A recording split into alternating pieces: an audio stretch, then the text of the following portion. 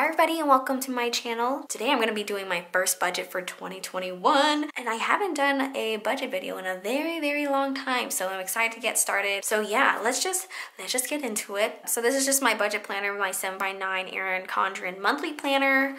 Um, I already have like my monthly spread set up. I'm gonna zoom you guys in a little bit closer. So as you can see, there's not a lot going on. All these stickers are from my Etsy shop, and I have a link to that in my description if you guys are interested. I just made a very simple spread.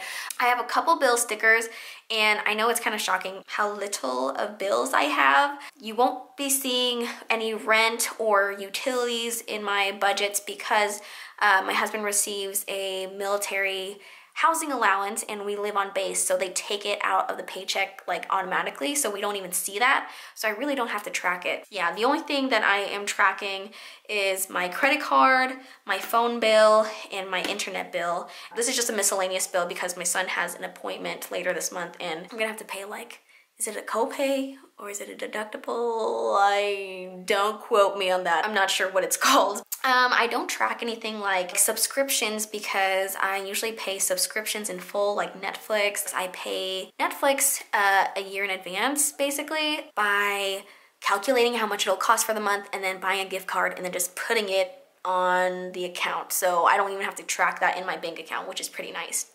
And then on the side here, I just have all of our debt, our remaining debt, which is just my credit card and then student loans. I haven't paid any student loans all of 2020 due to the COVID forbearance. I know it's gonna pick up again next month. I was planning on repaying it starting January, but I guess it was extended to January 31st. I'm expecting to start paying these next month. But yeah, I just want to keep like a little running total over here. I really like doing that um, because I like seeing this number go down every month. You know, it's pretty exciting. So yeah, this is just what the monthly spread looks like. And then my dashboard, also stickers from my sticker shop. Not sure what I'm gonna be using this for just yet. Um, maybe I might put down like birthdays and events, but nothing too crazy is going on this month. I have a little box here for um, anything I need to remember for this month. For example, like uh, I know Etsy and I think YouTube tax forms are coming at the end of this month. I gotta mail out some birthday gifts and cards. Um, and then on the 15th, I believe there's gonna be a social security tax repayment or something like that um, because of the whole uh, tax holiday thing uh, from September to December. So we're gonna see a decrease in pay starting the 15th. I'm not sure the like terminology of it, but I just know that our paycheck will be decreasing starting that paycheck. And then I just have a, like, a little reminder of what's coming up next month so I can kind of mentally prepare for that. And then down here, habit tracker, no spend. I probably won't be spending anything because the baby's coming and then I'll be stuck at home. Um, and then just cooking at home, I'm gonna try to cook as much as I can before the baby comes because I'm trying to save all those coins, you know what I mean? I feel like I've been doing a lot better at cooking at home and not going out to eat. And I can't think of another habit that I wanna track, but yeah, those are what I'm tracking. Okay, so that's that with the dashboard. Um, now with this budget, I'm gonna be using stickers that I already have, also new stickers in my sticker shop. So if you guys are new here, um, I do have a sticker shop. It was originally called LaTruce Papery, but I rebranded and now it's called Stickers by Cindy. It's a printable shop at the moment because my baby will be due and I won't have time to like print and cut stickers. I'm not too sure when I'm gonna start making physical stickers again.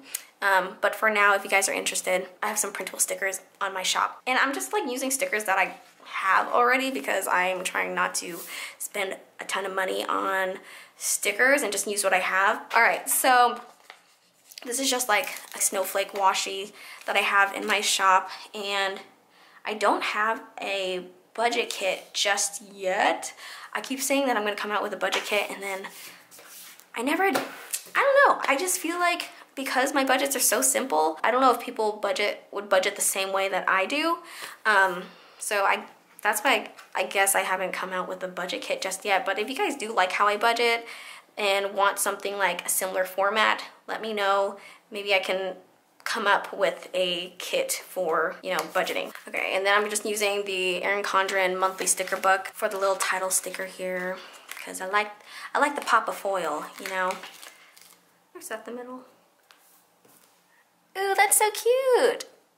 Ah, I love that. Okay, I love that. It looks really good together. Um, what I'm going to do first is write down the pay period dates. Usually I budget by paycheck, but because not a lot is going on this month, I'm just gonna do like a full monthly budget. So let's start with the pay periods. The first paycheck for this month will be December 31st to January 14, or actually it's actually the 13th. And then um, we'll get paid again January 14 through Jan 28. So I have these asterisk stickers, so I'm gonna use these to mark the categories that I'm budgeting for. I need to put down income, so let's see, what would look nice for income? Let me do the light one. Okay, so asterisk, I'm gonna write income. I know that for this paycheck, we will be receiving 16.96 and 26 cents. But for this one, I'm not too sure because before the whole tax holiday, if that's what it's called, it was actually $100 less. So it was like $15.96. And now with the whole tax repayment, I think they're gonna take a little bit more from that. So I'm going to say we're gonna be budgeting around 1500 I'm gonna try and underestimate our income and just overestimate any expenses just so we're covered. Now let's just go ahead with the bills. And like I said, I don't have a lot of bills because rent and utilities, we don't ever see that amount in our paycheck. It's already automatically taken out. Subscriptions and little things like that, um, already taken care of in sinking funds. And if we have any like birthdays or events or gifts or anything like that, that's already covered with sinking funds. So I don't really track that in our budget. For bills, so the first bill is internet. And then we also have our phone bill with AT&T, um, and then I have my USAA credit card.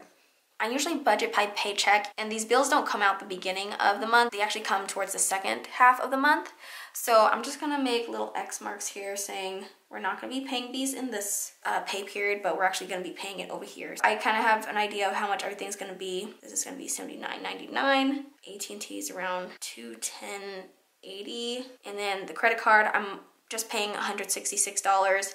I'm paying $166 up until April because that's when the promotional 0% interest thing ends and then also that card will be paid off by then as well. So now the next thing I like to track is all my savings.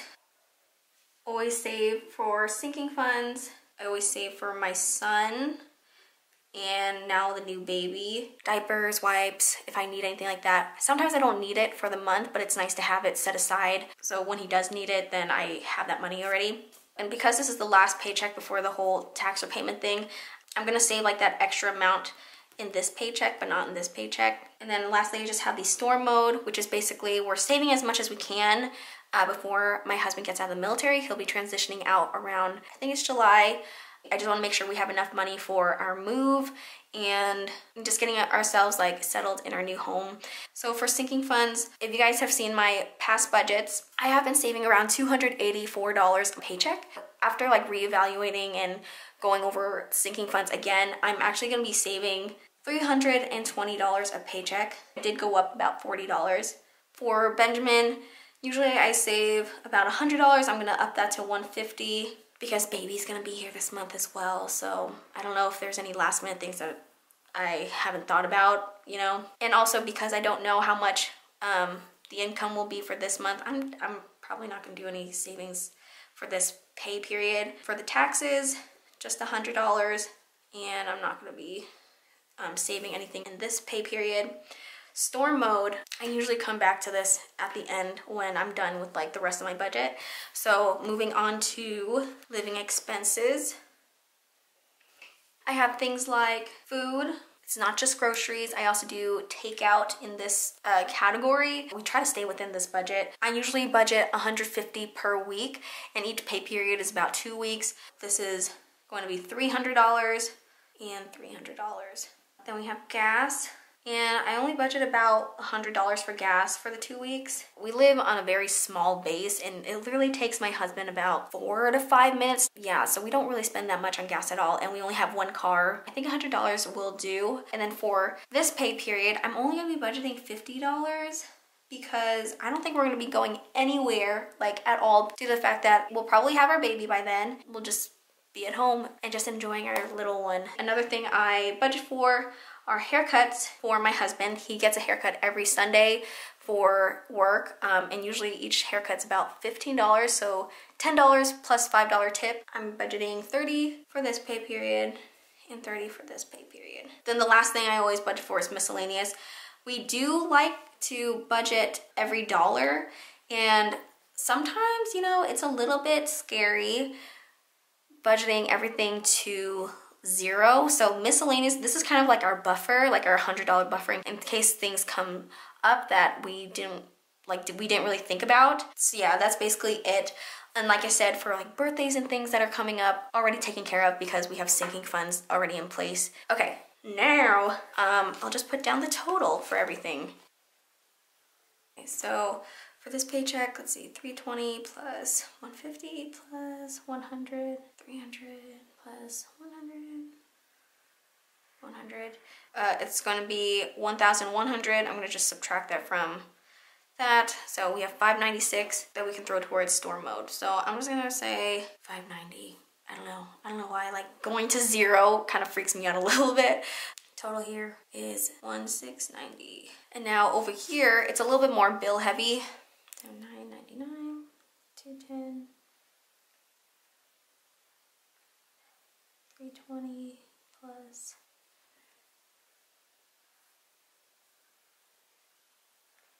Okay, so 1,256. I don't know how much I'm going to throw at storm mode just yet because I don't know what to anticipate for the income. So I'm just going to put a little question mark.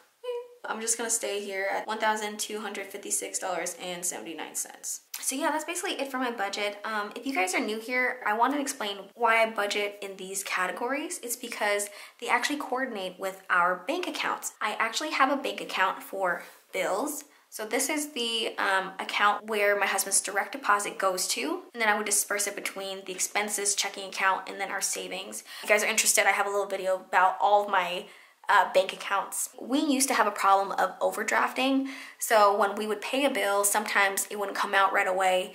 And we would also use the same checking account for our expenses here. So now we do just have a separate checking account mainly for bills. We don't worry about that. We just have enough money in there to, for all of our bills to be covered. And then for expenses, we used to do cash envelopes before COVID, but with COVID, we did just switch back to using our card. I have to be more mindful of how much we have left for each category. And then for savings, we have a separate savings account for sinking funds. I have a separate one for my son and the new baby. And then for the tax and storm mode, personally, I just put it in with my emergency fund. I already know that we have a $1,000 for emergency and then whatever's left is storm mode and then whatever the taxes is. So this has been really helpful for us, just knowing where our money is and not having to worry about like I said, overdrafting on bills, getting all the money mixed up by just having one savings and one checking. So yeah, I really miss making these budget videos. Um, and also let me know, do you guys want a budget kit like this? Because I can try to come up with something before the baby comes. Um, yeah, let me know your thoughts. And for more in-depth pictures of my um, budget, my dashboard, um, like my monthly spread, check out my Instagram at Cindy LaTruce. Not sure if you guys are interested, but just throwing it out there, a little shameless plug. All right, guys, thank you so much for watching, and I'll see you in my next video. Okay, bye, guys.